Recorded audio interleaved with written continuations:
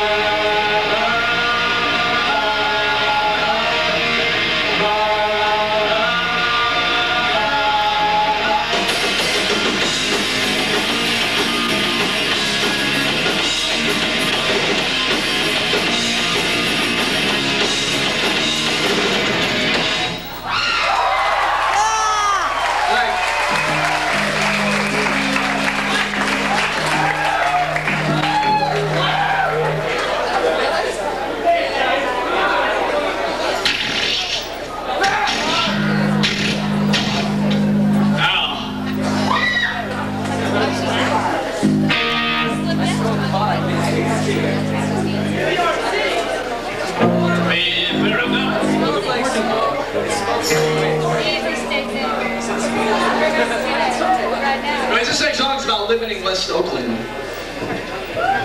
It's called, I forget.